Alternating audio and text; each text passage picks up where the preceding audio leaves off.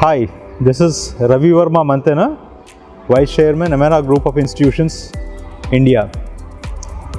MNR Institutions has five decades of legacy in providing primary education to higher education and research.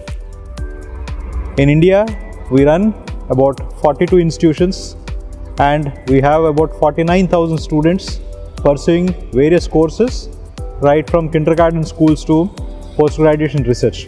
MNR institutions also offer courses in higher education in medical medicine, dentistry, pharmacy, engineering, physiotherapy and various other courses.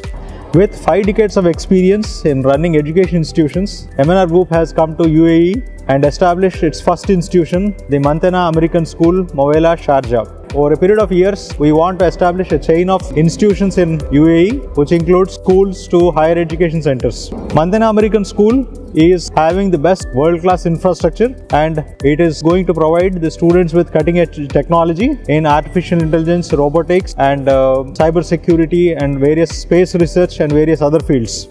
And ultimately, the goal of Manthena American School is to make global professionals from UAE. The students will be molded to pursue higher education in various top ranking universities of the world in US, UK or Europe or Australia and ultimately these students will become the world class professionals. That's what is the ultimate aim of Manthena American School. Hope the school will be able to meet the expectations of the parents and the students and we strive to do the best. Thank you